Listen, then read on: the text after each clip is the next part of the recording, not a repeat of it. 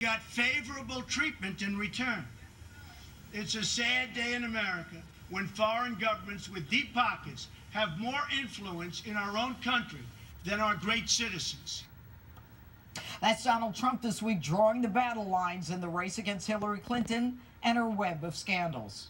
Trump planning to give a major speech this Monday to outline his case against Clinton. So, what exactly should be included in that outline? Let's ask the man who wrote the book, author of Clinton Cash, Peter Schweizer. All right, good evening, Peter. And I don't know if you heard the segment before you, but, um, you know, I have long believed that that personal private server was set up to block any access to the money laundering that I believe was going through the uh, uh, Clinton Foundation. But you wrote the book. Uh, can you tell me how much money the Clintons made in the period of time that she was Secretary of State? Well, from 2007 to the present, uh, they've made $170 million.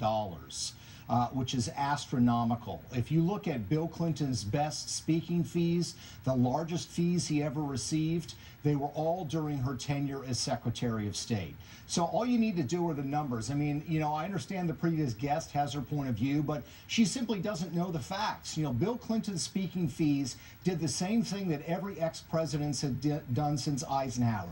That is, over time, they slowly went down until early 2009 when his wife became Secretary of State, and then he hit the jackpot big speaking fees, $500,000, $750,000 from foreign governments, foreign corporations, and financiers that were never interested in having him speak before. Suddenly, they've got matters before the State Department, and they're giving him $750,000 for a 20 minute speech. And the explanation that we get is this is just coincidence you know, don't look in there. The problem is these are foreign oligarchs that are paying this money in places like Russia and Nigeria. They are in corrupt environments. Oftentimes, they themselves are in, involved in corrupt activity. And I simply don't believe, Judge, that they're giving Bill Clinton this money and not expecting something in return.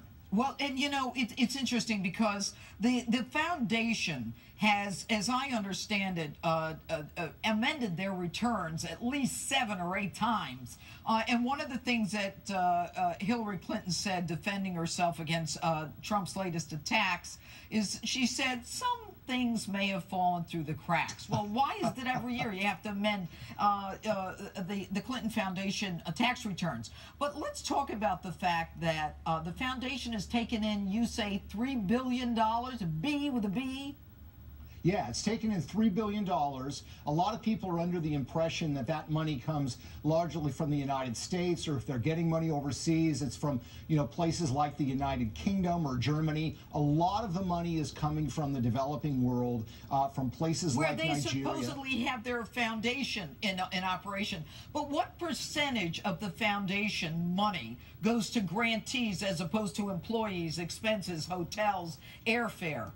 Well, they give about 10% to other organizations. They claim that the bulk of the rest of the money they use to support and enhance the work of other organizations, but it's hard to know exactly what that means. And by the way, uh, Judge, the comment that she made about, you know, a few donations uh, had not been disclosed that slipped through the cracks, there yeah. were a couple of them. Uh, these weren't cracks, this was a canyon. I mean, there's at least 1,100 donations that we know of that were never disclosed, including the chairman of this Russian owned uranium company that's part of this scandal where Vladimir Putin today has 20% of U.S. uranium assets. That donation was never disclosed, despite the fact that Hillary Clinton promised it to Barack Obama in a memorandum of understanding and also told the Senate Foreign Relations Committee during our confirmation hearings that they would disclose all contributions. They've just failed to do that. Peter Schweizer, thanks so much. I'm going to have you Thank back. You.